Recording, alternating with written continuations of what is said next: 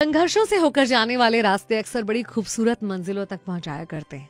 और ऊपर वाला किसी को भी उतना ही कष्ट देता है, उतनी ही चुनौतियाँ देता है, जिनसे वो जीत सकने की क्षमता रखता है।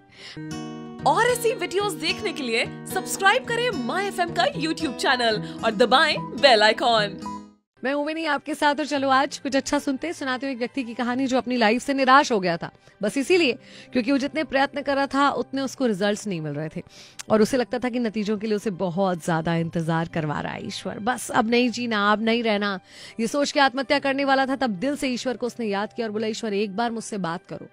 भगवान सामने प्रकट हुए। इसने पूछा कि आप ऐसा क्यों करा? आपने मेरे साथ कि मैं लगातार प्रयास कर रहा हूँ। उतने प्रयासों पर किसी को बहुत जल्दी नतीजे मिल जाते हैं और मेरे प्रयासों के नतीजे ही नहीं दे रहे हो। ऐसा क्यों? ईश्वर ने मुस्कुरा के कहा कि अपने आसपास नज़र घुमा कर देखो, तुम्हें घास और बाँस दोनों नज़र आ रहे उसने देखा हाँ नीचे घास थी और ऊँचा बाँस भी था। ईश्वर ने बताया कि मैंने ये दोनों ही बीज एक साथ बोए थे।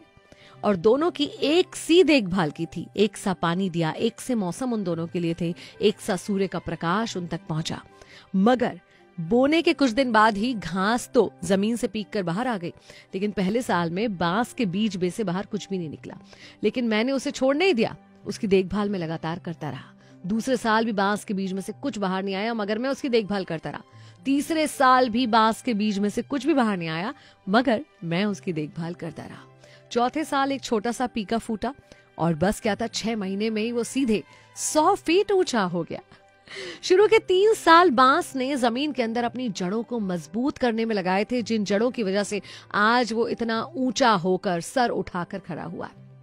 और ईश्वर ने कहा कि समय चाहे कितना भी लग रहा हो, ये ध्यान रखना कि मैं किसी की भी देखभाल करना नहीं छोड़ता। जैसे मैंने उस बाँस को नहीं छोड़ा, मैं अपने किसी भी जीव को दुनिया में यूँ ही नहीं छोड़ देता।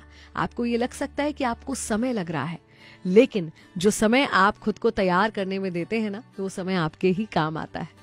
ईश्वर ने साथ में भी बोला कि मैं किसी को भी उतनी ही चुनौतियाँ देता हूँ, जिससे वो जीत सकने की, जिससे आगे बढ़ने की वो क्षमता रखते हैं। तो अगर आपको लग रहा है कि लाइफ में बहुत सारे कष्ट हैं तो ये समझ लीजिए कि ईश्वर ने आपको चुना है, क्योंकि आप उन क्षमताओं के साथ इस दुनिया में आए हैं कि आप उन कष्टों को मात दे सकते हैं, उनसे आगे निकल सकते हैं और कष्ट से आगे बढ़कर एक बाँस की तरह ऊँचे उठकर खड़े हो सकते हैं। एक छोटी सी झोपड़ी को बनने में जहाँ कुछ दिन लगते हैं, वहाँ एक भव्य इमारत को बनने में कई साल लग जाते हैं। तो अगर आपको लगता है कि आपको नतीजे मिलने में समय ज़्यादा लग रहा है उम्मीद से ज़्यादा लग रहा है या दूसरों से ज़्यादा लग रहा है तो कभी निराश मत होइए।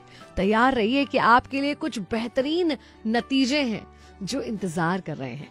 तो बस मुस्कुराइए और अपने प्रयत्नों, प्रयासों में कोई कमी मत छोड़िए। आप जिस मंजिल तक पहुँचना चाहते हैं, उसकी तरफ़ अपने कदम बढ़ाते रहिए। वो मंजिल भी उतनी बेसब्री से आपसे मिलना चाह रही है। मैं हूँ वनी आपके साथ। चलो आज कुछ अच्छा सुनते हैं। ऐसे ही वीडियोस देखने के लिए सब्सक्राइब करें माई एफ़ का ऑफिशियल यूट्यूब चैनल। याद रखिए, अगर आप कुछ अच्छा सुन रहे हैं तो माई एफ़ सुन रहे हैं। चलो आज कुछ अच्छा सुनते हैं।